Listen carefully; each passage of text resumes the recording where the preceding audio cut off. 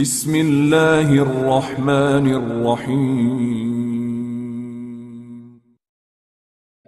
और जो शख्स जिना करे, जिना बड़ा खबी अमल इस्लाम, जिना करे, उसकी सज़ा क्या है?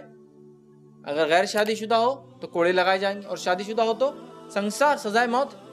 तो इस्लाम ने बड़ी अहमियत दी याद रखिए निकाह को, इसलिए कि जिना बड़ा कभी अमल है इस्लाम में, बहुत बुरा अमल है।